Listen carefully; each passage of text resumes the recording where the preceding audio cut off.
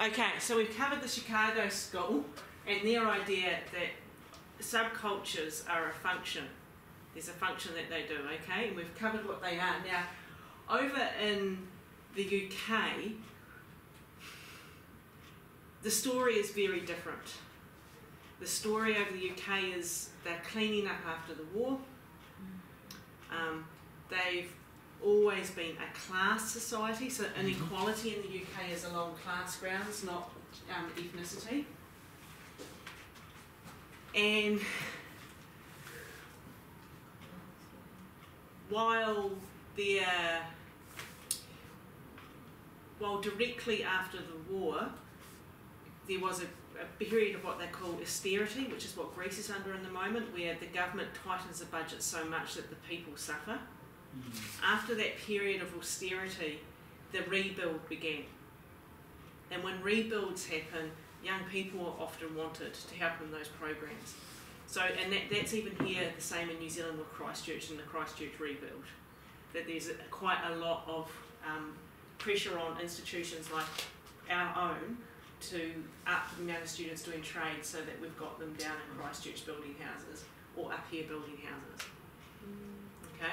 So there's that stuff going on, and there's a double, and, and, and there's a school that's looking at this all the time, and that school's called Birmingham School. So you've got two schools the Chicago School, which is associated with function, and the Birmingham School, which is associated with conflict. Now, I'm not going to go too far into the history of the Birmingham School because that's another whakapapa that we go down to. But Birmingham School was where art and stuff about um, hegemony, um, cultural capital, that sits in the Birmingham style thinking, where society is seen to have inequality. Okay? That's key to the Birmingham. Chicago School, you even saw in that video, though Malcolm Klein is a renowned Chicago School sociologist, and he didn't use the word inequality at all. Mm. The picture he told was one of inequality happening, but he didn't say, here's all this inequality. Mm. No, Birmingham is really interested in inequality, and it's also really interested in the media. It has a, a t- double-edged side. It's used to how people use the media, but it's also interested how the media uses people. Okay, and it says to Chicago, "You are right. There are subcultures, and those subcultures can be seen by their fashion, by their particular way of of, of speaking or living." and by their um, anti-social or pro-something voice. You are right on those elements, but you are perhaps a little wrong. You're wrong on one element that there always has to be crime. That some of the subcultures that came out in the UK were if the system subcultures and not necessarily criminal. And an example of that that the Birmingham School picks up on are the punk culture. Punks aren't middle class young people. Punks are working class young people who can barely afford clothes. And, that, and when you learn about, and you might choose to tomorrow, learn a little bit about punk history. Basically, when, it, when these kids, they couldn't afford anything but rip clothes. Mm and then one guy goes over to the United States, the punk cultural movement there, Malcolm McLaren, brings it back and sells it. Hmm. And the middle classes get into punk. But punk is very, punk itself, the, the aspirations of punk are very F the system. Mm. God save the queen. I don't know if you've heard that song, God Save the King, Queen by the, um, was it, uh, the, the, oh, was it the, not the remote, oh, Sex Pistols. Have to play you God Save the Queen by the Sex Pistols. But they are um, some of the some of the most important music from the punk scene, and the punk scene was in the US as well. But in the UK punk scene, some of the most important music came from bands like The Clash mm. and songs like London Calling. Mm. So if you wanted to get a sense of where punk was going, I would say look up London Calling and we might have time to watch that before we storm off for lunch because the Storm won't be coming back. I used a good pun there.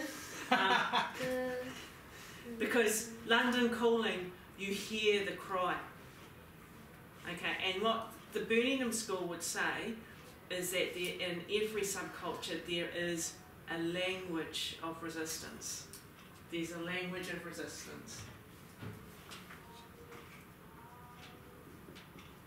And that language is expressed in fashion,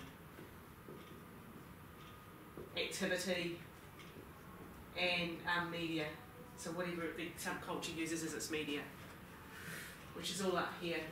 Active resistance, drugs, deviance, writing in various forms.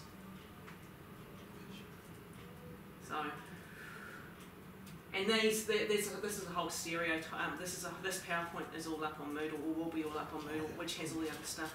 Birmingham School, and I'll leave you on this though, said that there were there are two aspects to subcultures. Subcultures, and this is where the problem with the word subculture is. So if I look, put the word subculture at the top, what are the two words in it? Sub and culture. Sub and culture. What does sub mean? Apart. Secondary. Oh yeah. Secondary and part. What do we mean by subway? Those are right, but sub actually means sub. Under, Underneath. Under. underneath class. Oh. Subcultures are under. They come from the lower cultures of the main culture. Oh, that's a good one. Yeah.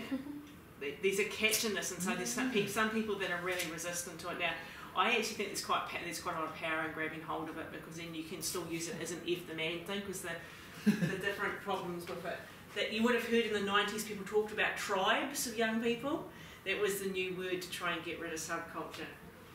Birmingham School said there were two types of culture, three types of culture. There was culture, subculture, and then another culture it called counter culture.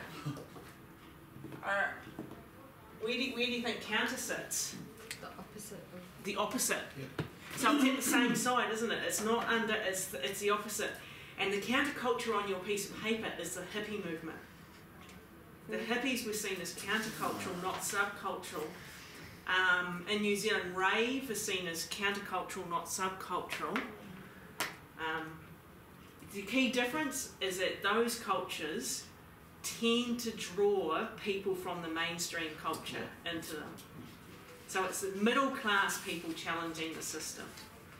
Way back when Birmingham School was writing, and you had to have a writing from the Birmingham School, a couple of them actually, you will notice that they talked about subcultures as if the young kids would grow out of it and just find themselves a working class job. Mm. Countercultural kids will change the world. I actually have gone where the reverse is actually showing itself to be true. true. Countercultures like hippies died. There's not many. There's not many mm. hippies from the 1970s who are still hippies today, but there are still metalheads from the 1980s that are metalheads today. There are still punks from the 1970s who are 100% punk today. Mm. And so this is the real power if you take the idea that they may be only concerned with function and they may be only concerned with the conflict and inequality that's going on between the different cultural groupings in society and how subcultures express resistance. And I'm like, wow, we, when we're working with young people, how can we capture that voice of resistance and encourage young people to actually read the inequality and write into that, into their songs and into their stories? I think there's real power in that. That's why my husband and I've always had a dream that what we wanted to start was like a big music studio up for youth where they could come in with whatever music side they wanted to sit in on the spectrum and if they wanted to do punk they could do punk. They wanted to do hip hop they could do hip hop. If they wanted to do the both together they could do both mm. together. You know, because the, but the, our, our role would be to facilitate them to not see that the rebellion side of gang, say picking on hip hop, the rebellion side of gangster hip hop is the answer. Mm. No, the innovative side of Pasifika and Indigenous hip hop is the way to go. Mm. Because that side is beginning to really challenge the means as well without quite fitting into being a complete you've got to go gangster and get yourself a gun and walk down the hood and Mm. do a number one. You know, it's it's got a lot more power to it. So what I'm going to do is, is show you a couple of, um, or go jump onto YouTube and I'll show you a couple of songs that really show some of the, the, the, the power of subculture or from a Birmingham perspective as a voice of resistance. From a Birmingham perspective.